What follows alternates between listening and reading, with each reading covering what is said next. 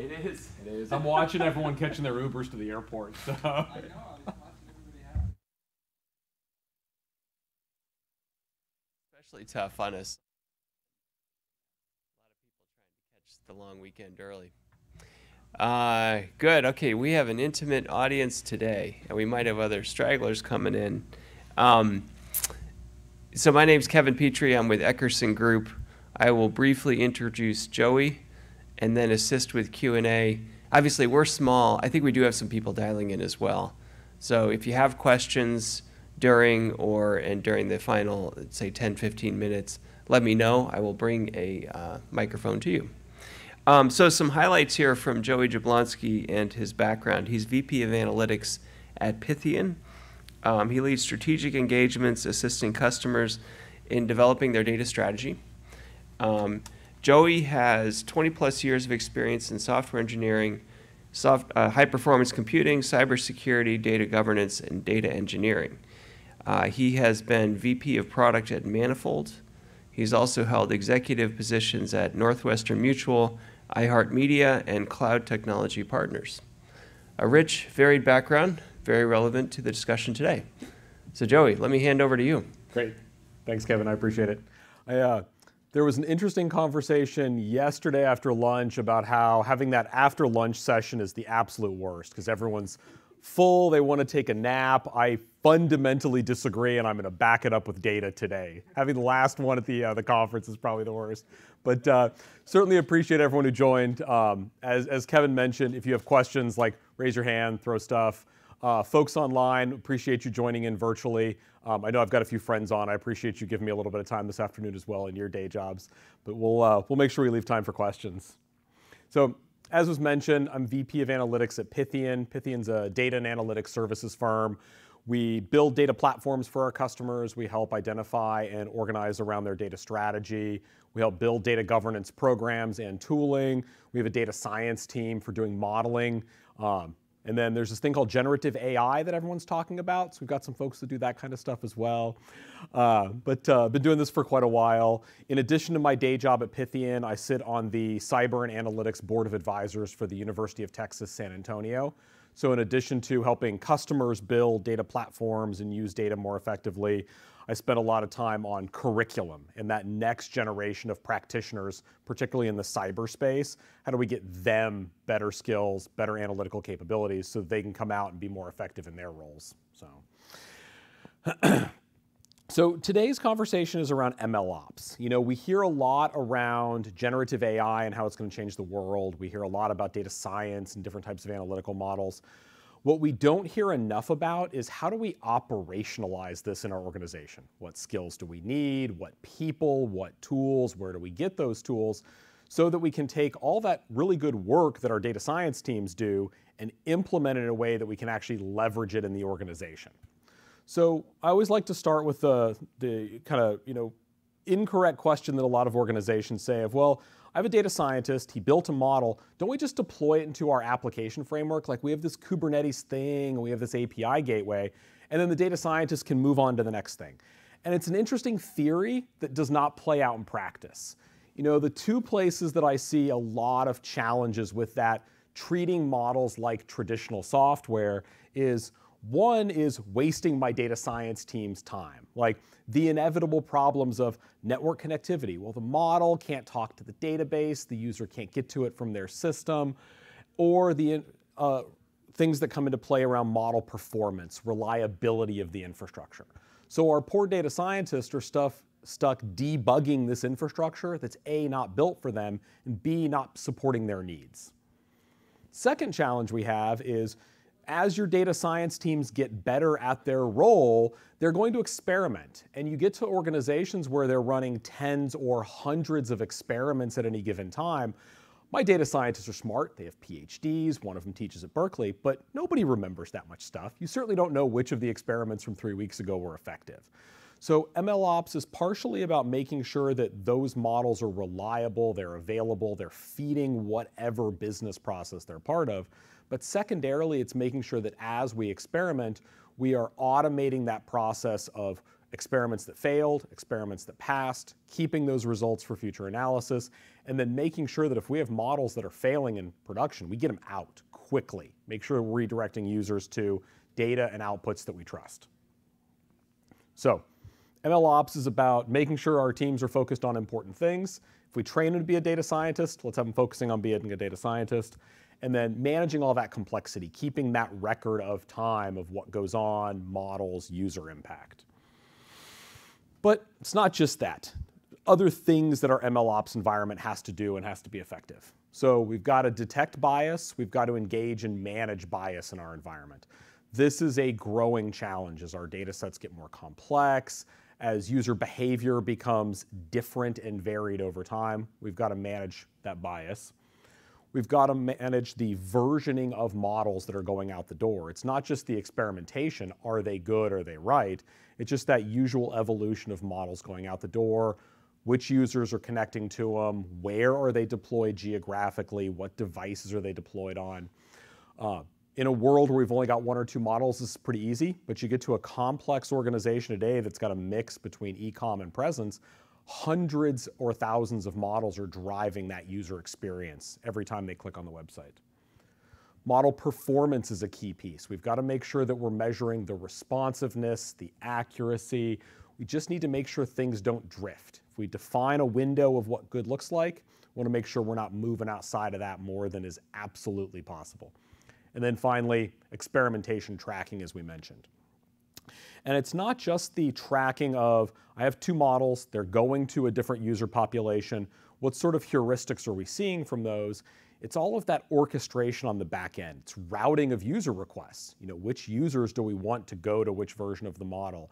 How do we want to store those results in a way that they're queryable, they're reporting on a regular basis? So as we're building out this MLOps infrastructure, we're thinking about both the data that we're tracking, but also that orchestration. How are our models deployed? Who's getting to access them? So who's the standard here? I always like to bring in proxies because the vast majority of us work at organizations where we don't have to invent this stuff from scratch. We'd like to, be a cool little science project, be good on a resume, but from a practicality of time investment and organizational uh, priorities, a lot of these capabilities are out there, they're in the market. Um, when it comes to ML ops, kind of orchestrating models at scale, very tightly coupled with user feedback, I tend to look at Google and Facebook as the gold standard. They have a very high level of maturity for the tooling, they have a very high level of maturity in their process, and they have a very high level of maturity in the people that are executing those. And it shows every day. You know, how many of us have a Google phone? How many of us are using Facebook to connect with our families? And we see that real world. We see a variance in behavior over time. When features don't work out as planned, we see them get scrapped relatively quickly. It's because they've got these tools on the back end to provide this level of visibility. Yeah, go for it, Kevin. Just a quick clarification. So when you say Google, you're saying how Google handles their own ML models internally. Is that correct? Correct, 'Cause they've yeah. Obviously got an external platform. They do, and you're actually reading ahead in the slides, which is good. But yeah, this is I, I when organizations go down their own path of setting up their ML ops team, hiring their ML engineers, I tend to look at the Google and the Facebooks as a proxy for what are operational models that work? What characteristics can we pull? What sort of hiring? What sort of skills can we pull? But I also like to caveat that with several things. They've been doing this a really long time. There's no silver bullet for your organization to go from zero to 100 with ML ops. It's a phased maturity. We'll talk about a little bit later what are the common steps. So just be patient. Like as you start to invest in your team, as you invest in tooling, think about what's the right timeline, what's the right trajectory. Um, they have massive engineering teams. Like the number of MLEs at these organizations is astronomical. And even if you're well funded, even if your executive champion is going to bat with you for, uh, for HR and for budgeting cycles, you're probably not going to have that large of an engineering team overnight. Start small, iterate, get good, prove that you're getting better at this, and then go grow the team. Their tooling built in conjunction as the organization scaled. And I recommend you do something similar with your own organization. Don't go out and buy four or five different vendors worth of ML tooling and then go hire your first MLE. stair step. Bring in some tooling, let your team get good at it, bring in some more tooling, let them get better at using that tooling. Um, that way, you're not overwhelming the team trying to learn a tool while they're defining a process and trying to grow their own skills. And conversely, you're not leaving people out in the wind that are highly capable without augmenting them with technology. Um, put the right level of risk management around your regulatory and your compliance needs.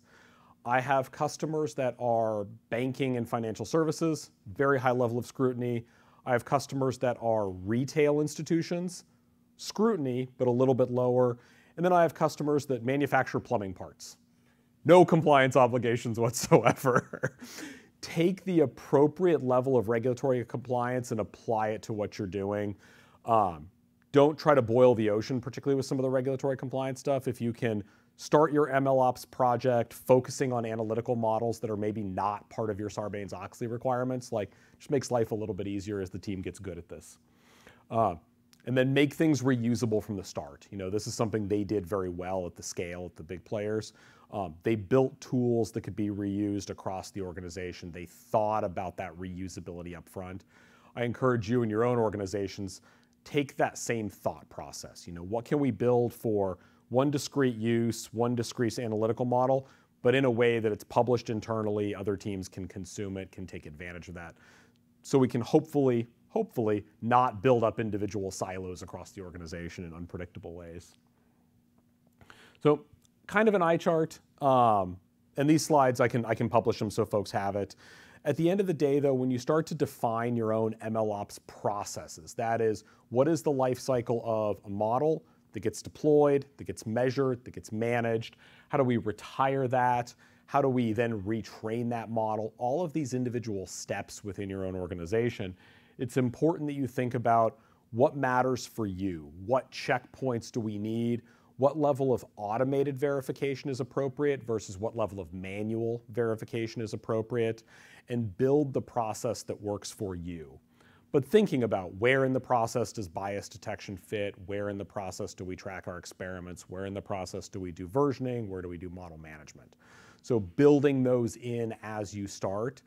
Even if you don't implement them right away, think about what that process is going to be. Start with that definition early.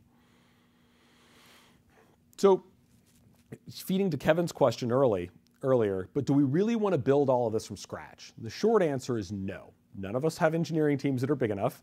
None of us are going to be able to articulate the value to our executive team of why we're reinventing the wheel. None of us are going to be able to go hire the people that have the right experience to do it right the first time, which means we're probably going to invest in doing it multiple times. This is where we come into the hyperscalers, the Googles, the AWSs, the Azures of the world. They have what I think are pretty good tooling, pretty good infrastructure. You can define your own process. What are the steps that a model goes through to get trained, to get tested, to get released? But you don't have to build that orchestration framework. You don't have to build those tests. You don't have to worry about the packaging of the model. They've got frameworks that do it. Comes up fairly often talking to customers, talking to random friends. You know, is this a place where we go with the cloud vendor native tool? Is this a place where we go buy one of the dozens of very solid vendors that are on the market? And my general recommendation is pick one and get really, really good at it. If you decide as an organization that, hey, we're already in Google, ergo, we're going to go with Vertex AI, that's a perfectly acceptable path because you can build an operational model around it. You can train your people to be really good at those tools. And if there are feature gaps, you can fill the feature gap with custom development, not building the end-to-end piece. Conversely, if you're an organization that's deep into AWS, you've got lots of good AWS people, go down the SageMaker path. All of them are capable technology. It's about coupling your own operational model with the technology that's there. So then we see the sampling of the vendor landscape. Um, the MLOps space is a wash with tools. And I tend to put them in two categories. I tend to put them in the category of holistic tooling, that is, we'll orchestrate and manage models end to end, very similar to what the hyperscalers give you on their cloud platform. And then there are these niche MLOps vendors. They've identified one specific feature that's missing and said, we're going to go in there. If you're going to invest in tooling here, the holistic platforms are a much better one because you just need fewer tools in your environment, less integration challenge. My gut feeling is a lot of these niche one solution vendors are going to get circumvented, taken over by one of the bigger vendors, and just kind of their value is going to be shorter lived than others. So, so we've talked about technology, we've talked about uh, process. What about our people in this organization? And that is important. So we're going to talk a little bit about what are some of the stages that we need to think about, and then organizationally, how do we think about building this team? First is how do you do experimentation as an organization? And experimentation varies a lot based on your industry, your geographic footprint, just how people consume your models. Are these consumers with mobile devices? Are they office workers that sit in a call center? So this is uh, from the guys over at Neptune AI. This is my kind of standard baseline process for experimentation. We get our data, we label our data, we version that combination. We then put it into a process where we train the model, we evaluate the output, again, tag that model with a version, and then make sure we're grabbing a lot of feedback from that model performance, feeding it back into that early part of the process. And then doing this over and over and over again. So define what is your experimentation process, but define it very specific to your data consumers. Identify what type of device are they going to be using this on, under what conditions, because those are going to skew our experimentation results. I think one of the best examples was we had a retailer had built a mobile device or mobile application that enabled a pretty good experience. You could order clothes for your house, you could set them for store pickup, you could set things to be picked up at the store for trying on. Um, so a very good connection between that real world and the digital footprint. They had released a variety of models to make recommendations on uh, styles for the new season, and they did a ton of consumer research. You know, what styles are going to resonate with what types of past buyers and past history. Um, released these models and got awful response. Like just, I mean, click-through rates were terrible, adding it to their cart rates were terrible, people coming into the store to try it on was terrible. And we went and we dug into the situation quite deep with them. We're like, okay, what happened here? Like these, these models should have worked. We had good data. Well, what we found is when they did the experimentation, it was such a short window, we didn't capture the vast majority of our buyers. The vast majority of the buyers really only came to the mobile site a couple times a week. So they ran a 48 hour experiment and by default got a very, very small subset of our customers. So we got data that showed it didn't work, but honestly, the data set was too small to say whether it did or it didn't.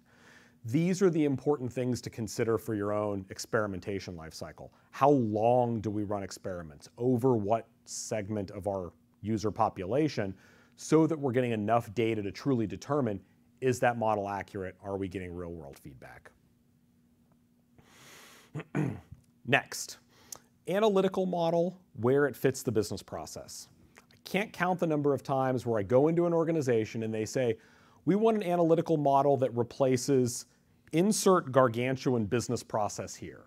When in reality, gargantuan business process is dozens, if not hundreds, of individual discrete steps, different teams, different data, different systems of record, different swivel chair that people do between systems. This is important because our ML ops environment has to be a reflection of the real operating world that our business functions under. So if we take an analytical model that we've built for pricing prediction, we're going to predict the price that a product is going to sell. That's a very discrete business step. But it fits in a larger context. We probably have someone in the CFO's office that's scratching at it to say, is it enough margin? We probably have someone scratching at it in the sales organization to say, is it competitive against the industry? We probably have someone in the treasury department that's scratching at it to say, is this going to manage our cash flow obligations to be able to manufacture the product? So our ML ops environment doesn't have to simulate the real world, but we need to make sure that there's enough testing going on that that discrete step that we're replacing with an analytical model is being tested as part of this larger prod process. Are we giving the CFO's team enough data out of that model to calculate their margin? Are we giving the treasury group enough clarity as to sales distribution to plan cash flow? Are we giving the sales organization enough clarity to go back and say, what are we going to call for the ball for the week, the month, the quarter? So it's important that our ML ops environment is built and structured in a way to accommodate this connection between our business process and the analytical models that are implementing it. All of this is going to take new skills for your organization, a lot of new skills. Um, modern MLEs, machine learning engineers, have this interesting challenge of they need to understand enough data science to debug the models. They need to understand enough computer science to understand how distributed systems operate.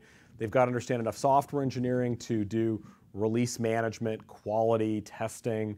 They need to understand enough about the cloud to deploy their models, pick their right services and vendors, and then enough about systems engineering to figure out why are we having performance problems.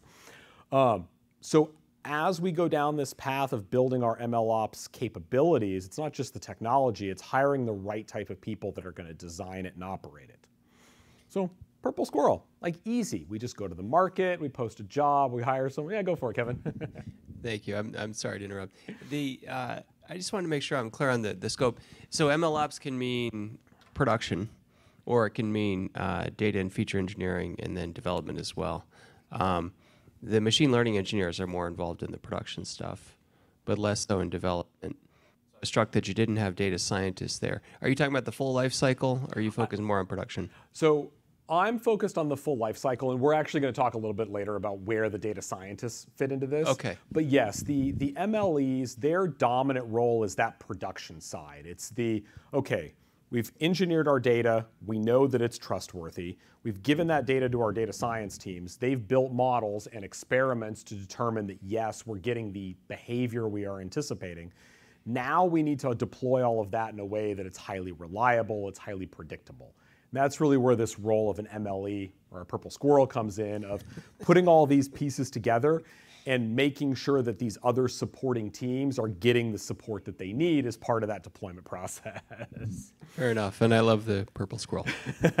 that is not a squirrel in my house. I did not ca- catch a squirrel and paint it purple. Like, not cool. so, yes, you know, the MLE, whereas they become the linchpin for a lot of this production operation, they're not the only one in our organization. We've got our data engineering activities that are very important at the front part of that experimentation process, building those data products. We've got our data scientists that are very important at that middle part of our experimentation process, taking that data, doing the appropriate feature engineering, turning into our models. Then we've got our MLEs, essentially those folks that are operationalizing all of this. You know, the way I tend to think about these three is that the data engineers have to be extraordinarily detail oriented because the better they are at catching problems with data earlier in the process, the more effective we can alert the business to the data quality problem, get the right checks in place. Our data scientists have to be those folks that are extraordinarily creative, the art of what's possible, throwing out 100 hypotheses and then finding the one or two that are both valuable and impactful to the organization. The MLEs are the ones that are going to then take all of that good work and package it up, automate it in a way that it's highly reliable, it's highly efficient, and reusable. The perfect world is that the MLEs then create better tools. They make life better for the data engineers, they make life easier for the data scientists. So, what do they do within this world? The way I tend to think about it is our data engineers, they create data products. They take data, they engineer it, they make it easy to consume, they make sure it's complete. Our data scientists are both creating and improving our analytical models in the environment, and our MLEs are creating all of that reusable infrastructure. What do we need in the organization to be effective to scale? As I mentioned before, this is a maturity. This is a set of steps or a set of phases that we're going to go through as an organization. And I, uh, I'm a big fan of maturity models. I'm a big fan of this is a journey, it's not the destination. Um, I'm also a big fan of reusing what's already in the community. So again, Neptune has a good maturity, three steps. I agree with it. Um, the way they tend to look at it and the way I look at it is as we are maturing our organization, step one, level zero is We've decided that we are going to do MLOps. We have enough analytical models running in our environment. We need enough consistency that we need to drive a formalized set of programs around establishing our MLOps program. And this is probably highly manual, probably somewhat script driven, probably not well connected between our MLOps and our operations teams, probably not doing frequent releases, probably not doing automation. But that's okay because we're documenting what we're doing, we're building a team that's getting closer.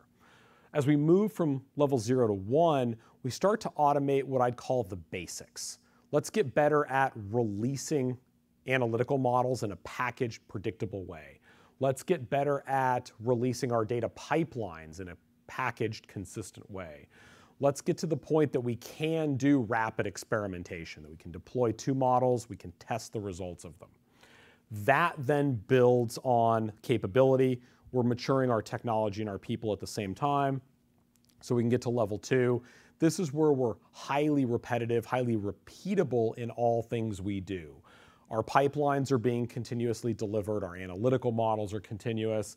Most important, we also have monitoring and visibility into what's going on. Earlier in our maturity levels, we may just find problems because somebody told us. As we get more mature, we find problems because we knew what to look for, we knew what to anticipate for, we know what good behavior looks like. So as you define your own maturity level, it may not be three steps for your organization. It may be five. You may prioritize certain things as I mentioned before, if you're a highly regulated institution, that regulatory stuff probably needs to come up into level zero. We probably need to start with that foundational regulatory stuff just so we don't accidentally miss it down the line. I was just, oh, I always describe these as the five truths. You know, the, uh, the idea that things that are immutable in our process that we just have to work around. Um, starting with technology, the technology is going to change don't make a tool commitment and say, this is our tool for the next 10 years. Like, the world's gonna change a lot in the next 10 years. Teach your people, train your architecture teams, implement things in a way, and just plan. This tool is gonna get ripped out in two to three years. Whatever tooling we choose, let's plan that it's gonna rotate. Uh, behaviors are gonna have to change, um, particularly in highly regulated environments. I find the idea of multiple models being deployed, different consumers of our data going to different models. Very hard concept for compliance teams, traditional data governance teams to wrap their head around. So we've got to change that culture. We've got to get people thinking more iteratively. We've got to get people thinking about where do we deploy these capabilities that manage risk. Um, this is what makes or breaks it for an organization, getting people more willing to change and seeing that it's impactful, it can be done properly. Uh, process, as I mentioned before, don't take gargantuan processes and try to automate the entire thing. Take discrete steps, make sure your systems and tools are built in a way that they're flexible. One thing we want to avoid manifesting here is Conway's law in that our systems take the form of our organizational structure. Accept that our organizational structure is going to change and our infrastructure is going to have to change with it. Uh, roles and titles are different. And I say this for a very specific reason. You know, I mentioned data engineer, data scientist, and MLE. Three relatively common titles in the community that are applied and hired highly inconsistently across organizations. So as you think about your own organization, think about what are the right roles in your ML ops process? I own part of a release cycle, I own quality standards, and then what are the titles that you're bringing into the organization? And be very crisp about how they work together. How do those teams get put together to get to the right outcome? Uh, I see a lot of organizations get very caught up in the religious definition of a job title or a role in the organization. And at the end of the day, it doesn't matter if your internal role matches the community. You need a little bit for recruiting reasons, you need a little bit so that people can put on their resume and describe their job but the specifics of how those roles work together, their accountability to one another, can be specific to your org. And then regulations, as I mentioned. Um, there's places where they're going to slow us down, there's places where we're going to stop things we want to do, but there's a whole host of opportunities that we can go after without having to do that. And I highly recommend, you know, pick pick workloads, pick use case in your organization that avoid the really hard regulatory problems up front and then bring that capability in over time. So, where are we going? Where do we get started? Uh, define your operating model. As I mentioned, the one slide, boxes, process, and diagrams. Define what your gold standard operating model is. You may not build it all at once, you may not even build all of it ever, but start with what that operating model is, how you want to test models, how you want to release them, how you want to run experiments. Identify and build your skills. This is always a combination of you need to go out to the market and hire some people that have experience building from the ground up, and then opportunities for people internally, cross training, up skills, getting them the experience. Build that team that's going to own your MLOps infrastructure and the associated process. Start small. Um, don't plan to build an infrastructure tomorrow that's going to deploy a thousand models. Pick a few analytical models that are in your environment, build the infrastructure around that, and then scale. And then decide on technology. Pick the technology that complements your operating model, your procurement model, your approach to uh, model management. Um, I always put this by design with technology on the last piece. Like a lot of decisions have to be made before we start buying tools. That way we're buying the right ones. We know we can effectively use them. The other challenge in the technology space is that if you look at five different MLOps tools, you're probably going to have like 40% overlap. And you're like, well, no tool does it all, but if I buy these two, I have a bunch of overlapping features. So where do I implement it? And that becomes a really complex Rubik's Cube that you got to figure out as an organization. And you might end up buying a tool and not using all the capability it brings. And that's okay because it's tying up to the operating model that we defined first. So, excellent. What else can I answer? Any questions? Is there any online? Actually, I'll check that. That's a good question. Um, I have a couple questions, but I can let others go first. I mean, just more if you can talk more about like the ML specific position. Yeah. Thanks. Yeah, just talking more about the ML specific position within data science, data engineering, because I think that's more new to me. Yeah, absolutely. So at the end of the day, as we scale up our data capabilities in an organization, we have several buckets of different work. We have data engineering, kind of sourcing data, doing our feature engineering, preparing it to be consumed. We have the data science piece, kind of the mathematical component of what's the right algorithm to use, how do I apply that algorithm to the data in a way that's meaningful. And then we have the orchestration of all of this stuff, deploying our pipelines, running our pipelines religiously, making sure they're instrumented for monitoring. So we've got what would traditionally be that data engineer role, sourcing data, the data science piece, and then the MLE, that kind of orchestration, reusable component. The reality is a good data scientist can do both of those other roles, but they probably don't want to because they went down a data science education path, and they're probably not going to be as good at it as hiring specialized skills for the other ones. So what you have to figure out for your organization is based on the body of work ahead of you, what's the right ratio to get to? So like when I was at iHeartMedia, every one of our data scientists, we targeted having two data engineers. We found that to be the right mix that our data scientists were not blocked by lack of data and it becomes a good operating unit. Three people can work as a team, they can do stand-ups, they can coordinate their priorities in a very effective way. I've been at other organizations where I've seen upwards of four to five data engineers per data scientist, and that's what they needed for their organization. The data was more complex, they had more sources. Very similar, your MLEs, you've got to figure out that ratio of how many data scientists, ergo, how many models do we have going out the door? So, how many MLEs do we need to help orchestrate that environment for them so they're not getting blocked by the one day on Earth is seven days on Mars problem of just trying to get problem solved, and then make sure they've got that effective support on managing experimentation, because that that management and orchestration of the experimentation that's going to be a lot of the MLE's role as well.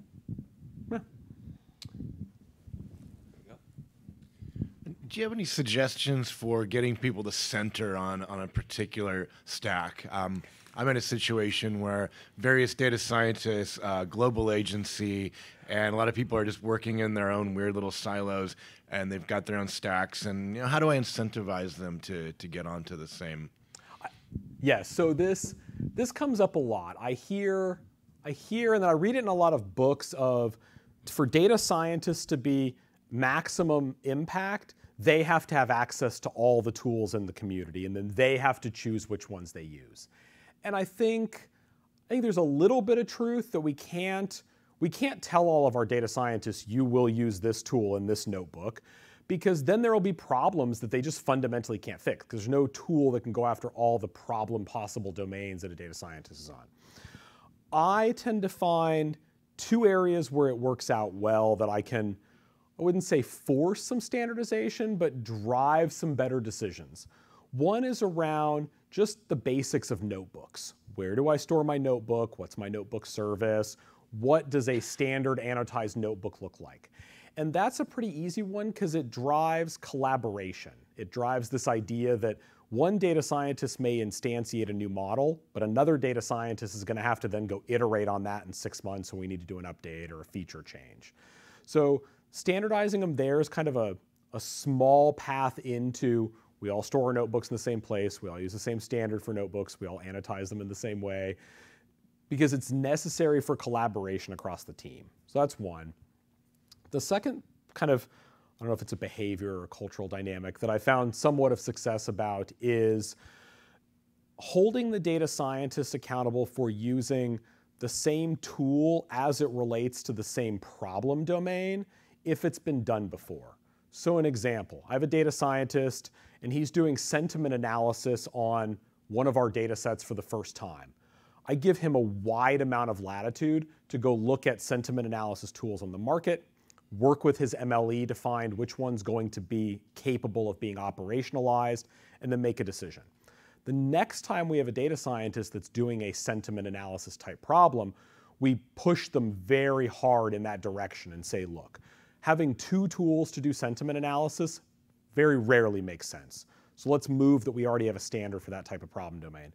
And over time, you'll get a library of for these types of problems. We have a set tool that we use. It's not a perfect example, but it, it, it works better than giving them free for all because what ends up happening a lot is that as your data science team grows, they don't even know what problems we've previously solved. So by giving them at least some direction on the tools for the problem domain, hopefully at least gives them the right information to make the right decision and not duplicate capabilities in the in the building. So. So we have a couple of questions from uh, our online viewers. Uh, first one here is, what are some of the leading and proven models that are getting prominence? So I think it it varies a lot by industry and then where the impact of data science is within the organization. So particularly in the retail space, like lots of complex neural networks, lots of optimization techniques, because that's what we're trying to do. We want to make sure stock's in the right place, targeting customers with the right ads, high propensity to buy, those sorts of things. Um, I think the, we'll say, excitement and passion around LLMs is driving, I would argue, a lot of really good experimentation. Like every organization I've talked to has like some project using LLMs for Maybe we can build chatbots. Maybe we can do internal training tools. So we're seeing a lot of interest and excitement. Um, we have a lot of like enterprise readiness and like compliance scrutiny we got to deal with before we deploy these things, but we're getting there. So, yeah. Actually, a follow-up question on that that I had is, uh, how much of the of what you just shared applies to language models, and what are special considerations? Maybe you could elaborate more on that, because now we're dealing with tokenized text. Yes. Um, ideally, from within a company, they're going to fine tune it on that. Yep. So I think 80% of what I've talked about probably applies. I'm going to argue that the two places where it varies a lot is the data engineering skills are going to be very different from numbers, statistics, sales records, that type of thing the type of skill set a data engineer is going to need for tokenizing text as an example, semantic mapping is going to be fundamentally different. So we've got to think differently about that part of our experimentation process, the skills and the tooling that we need. I think the other place where it's going to heavily affect is the MLEs and how they think about system scalability. Training an analytical model based off of numbers that are going through a variety of you know, formulas is a very different computation problem than like retraining from millions of documents. Like very different thought process for how we build pipelines, um, how we then build that data into our model. So I think it's going to change the MLEs, maybe not skill set, but at least their outlook on the problem. That makes a lot of sense. Um, another question here. it kind of sounds like a summary of your presentation in some ways, but I'm going to read it and see see what I'm missing. How can organizations establish robust processes and workflows for managing the end-to-end life cycle of machine learning models, from development and deployment to monitoring and maintenance? Yep. So maybe it's I- more of a focus on process and workflow than Maybe process and workflow. I, I would point back to the maturity steps. You know, identify. We've got we've got a foundational model, three steps of maturity, highly manual but a documented process, somewhat automated for the simple things, and then automated end to end, very highly repeatable and measured. Figure out what that means for your organization and invest in the right places. I mean, that's the I always caution organizations like when you see maturity models have a good and a bad. Good because they give you a roadmap of like, okay, I did A, now I can do B. But don't get caught up in the I have to do all the steps in the maturity model. It may very well be that your organization, investment plus complexity plus risk, means that I only need to spend the money to get to maturity level one. I don't need to spend it on two. I don't gain anything on that. So make sure you think about how far you need to go as an organization. Um, and don't go further than that because it's just not not time well spent, not money well invested. Okay, good. Other questions from the audience, and if not, I have a final one myself. And then we'll let people get out of here because it's And then the we'll let end of the people enjoy a summer evening. Um, so the final one would be on the regulatory front. Europe is looking at some AI regulation. What should people have on their radar screen as it pl- replies, applies to compliance on the AI front? So we've spent an exorbitant amount of emotional effort over the past 10 to 12 years becoming compliant with GDPR, CCPA, CPRA. All of them are built around the same general concept of me, Joey, I own my data. I can tell you, the company, to delete it, get rid of it. That is my legal right. Well, we're entering a world where a company may very well take my data about me and train a model. And suddenly there's this ghost of Joey floating around in analytical models. Do I, as a consumer, have the right to tell you, well, both you got to delete my data and you got to go back and retrain those models? I don't want any record of me being there or my behavior that could potentially leak, even if it's a small, insignificant chance. So I think we're going to start to see a clearly stating of you as a consumer what rights do you have not just for the data but any derived models from it forget retrain. And that's a that's a hard technical problem. If i'm doing a an ad targeting model i'm retraining it every day anyway. Like pulling joey out of the training set's easy.